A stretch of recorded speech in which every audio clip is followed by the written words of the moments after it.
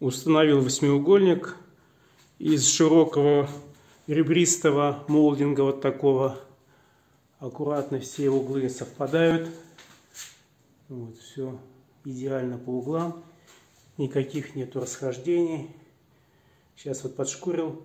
Осталось только покрасить. Вот, все швы зашпаклеваны. В общем, все четко.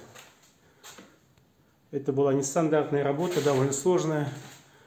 Вот, и пришлось мне тут поработать головой, не только руками.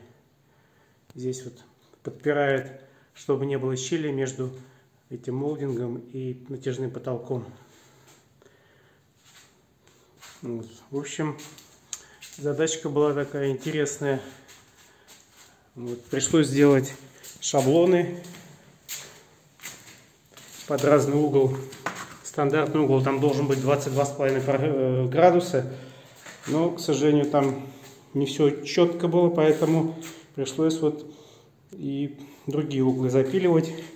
Сначала прикладывал этот шаблон к каждому углу, убедился в том, что здесь будет именно тот угол, который мне нужен, потому что даже малейшее расхождение в 1 градус сразу даст щель, которую очень тяжело заспаклевать и подкрасить. Вот поэтому самое важное здесь было четко все промерить. Основная работа была именно замеры. Вот. И в итоге потом склеивал по два молдинга и монтировал сразу по два молдинга. Потом приклеивал их уже к соседнему ряду. Вот. В общем, на монтаж ушло немного времени. Если хорошо подумать и спланировать, тогда работа идет четко и быстро, без ошибок. Было несколько проблем. Первый потолок натяжной не прилегает к молдингу как следует. А второй, сам вот этот вот молдинг, как ни странно, он кривой. Вот.